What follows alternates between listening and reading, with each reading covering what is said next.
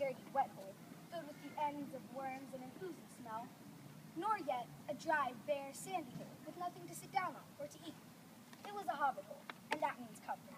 And what is a hobbit? They are small people, smaller than dwarves. They love peace and quiet and good fodder.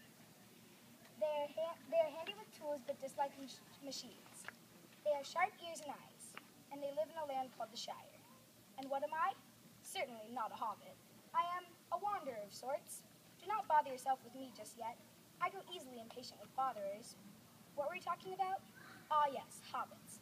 There is one right over there. It's time for us to begin our story. Good morning. What do you mean? Do you wish me a good morning, or I mean that it's a good morning whether I want it to be or not? Or that you feel good this morning?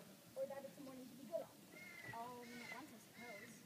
I am looking for someone to share an adventure with, and it is very hard to find anyone in these parts. I should think so. Plain quiet folk who have no